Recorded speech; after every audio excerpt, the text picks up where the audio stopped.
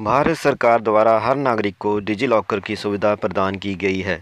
ये एक प्रकार का ऐसा डिजिटल लॉकर है जिसकी मदद से आप अपने सभी ज़रूरी कागजात व दस्तावेज़ स्टोर करके रख सकते हैं। इसके माध्यम से जब भी इन दस्तावेज़ों की ज़रूरत पड़े तो आपको ये यहाँ से उपलब्ध हो सकेंगे। चाहे जन्म प्रमाण पत्र हो, स्कूल सर्टिफिकेट्स हो, आधार कार्ड हो, ड्राइविंग लाइसेंस हो, पैन कार्ड्स हो और कोई भी अन्य दस्तावेज़ हो, सभी यहाँ से इशू हो जाते हैं और डाउनलोड भी हो जाते हैं। डिजी लॉकर को मान्यता देते हुए केंद्र ने ट्रैफ़िक, पुलिस और ट्रांसपोर्ट विभाग को निर्देश दिया कि वेरिफिकेशन के लिए असली दस्तावेज़ ना देखे जाएँ और आईटी एक्ट 2000 के तहत डिजी लॉकर पर मौजूद दस्तावेज़ की ई कापी को वैध माना जाएगा। इसका मतलब ये हुआ जब भी कभी आप ड्राइविंग कर रहे होते हैं और ट्रैफ़िक पुलिस आपको पकड़ लेती है तो आप डिजी लॉकर की सहायता से अपना ड्राइविंग लाइसेंस और गाड़ी की आरसी दिखा सकते हैं। और भी कई ज़रूरी दस्तावेज़ हैं जो यहाँ पर आसानी से मिल जाते हैं। तो आज के इस वीडियो में मैं डिजी लॉकर पर अकाउंट बनाना सिखाऊँगा और इसे कैसे यूज़ करते हैं, ये भी सिखाऊँगा और लाइव डेमो दिखाऊँगा।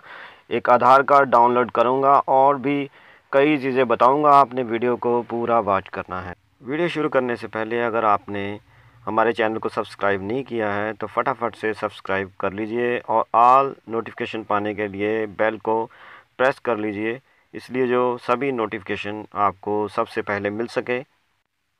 सबसे पहले यहाँ पर गूगल सर्च बार में आ जाना है और यहाँ पर टाइप करना है डिजी लॉकर और यहाँ से सर्च कर देना है। इसके आगे यहाँ पर W W dot DigiLocker government dot in लिखा है। यहाँ पर क्लिक कर देना है। इसके बाद हम यहाँ पर डिजी लॉकर के डैशबोर्ड में पहुँच जाएँगे। तो यहाँ पर आप देख पा रहे हैं, यहाँ पर काफ़ी सारे ऑप्शन हैं और आप इससे चेक कर सकते हैं। जो भी आपको ज़रूरत है, यहाँ से आप इशू कर सकते हैं और यहाँ से डाउनलोड भी कर सकते हैं। तो आगे यहाँ पर हम साइन अप पर क्लिक करेंगे। अगर आपके पास ऑलरेडी अकाउंट है तो आप साइन इन कर सकते हैं। तो मैं यहाँ से साइन अप पर क्लिक कर देता हूँ। यहाँ पर फुल नेम डाल देना है, जो आधार कार्ड में है। यहाँ से डेट ऑफ़ बर्थ डाल देनी है और मेल और फीमेल, जेंडर सेलेक्ट कर लेना है और यहाँ से मोबाइल नंबर डाल देना है और सिक्स डिजिट सिक्योरिटी पिन डाल देनी है और ईमेल आईडी आपने डाल देनी है और यहाँ से आधार नंबर डाल के आपने सबमिट पर क्लिक कर देना है।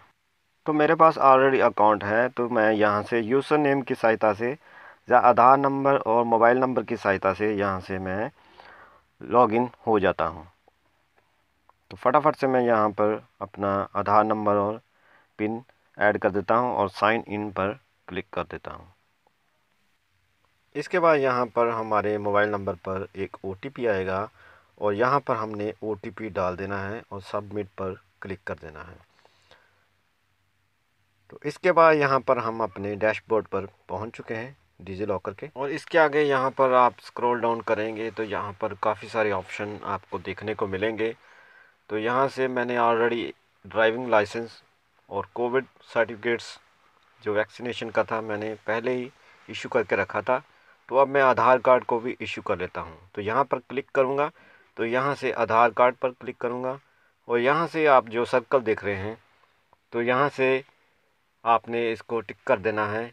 और अपडेट पर क्लिक कर देना है तो यहाँ से मैं अपडेट पर क्लिक कर देता हूँ।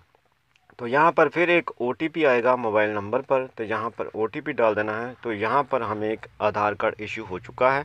और अब मैं यहाँ पर आधार कार्ड पर क्लिक करूँगा तो यहाँ से मुझे मेरा आधार कार्ड मिल जाएगा।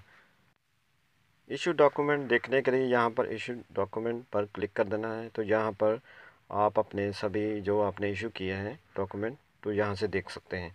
तो मैं यहाँ से ड्राइविंग लाइसेंस को डाउनलोड करके दिखाऊँगा। तो जो मैंने पहले इशू करके रखा था, इसके लिए यहाँ पर डाउनलोड के ऑप्शन पर क्लिक करना है और यहाँ से पीडीएफ पर क्लिक कर देना है। तो यहाँ से आप डाउनलोड का ऑप्शन आ जाएगा। तो यहाँ से हमने लाइव प्रूफ के साथ जहाँ पर हमने अपना ड्राइविंग लाइसेंस डाउनलोड कर लिया है, जो पहले इशू किया हुआ था। तो आप भी ऐसे ही कर सकते हैं और बहुत सारे डॉक्यूमेंट जो आप यहाँ पर इशू भी कर सकते हैं यहाँ से डाउनलोड भी कर सकते हैं। अगर आप अपने डॉक्यूमेंट अपलोड करना चाहते हैं तो यहाँ से ड्राइव पर क्लिक करके तो यहाँ से ऑलरेडी पहले से फ़ोल्डर बने हुए होते हैं। तो यहाँ से किसी भी फोल्डर पे आप जाके डॉक्यूमेंट अपने अपलोड कर अपलोड के लिए अपलोड फ़ाइल पर क्लिक करके यहाँ पर आप अपने डॉक्यूमेंट अपलोड कर सकते हैं। आई होप कि आपको इन्फॉर्मेशन अच्छी लगी होगी।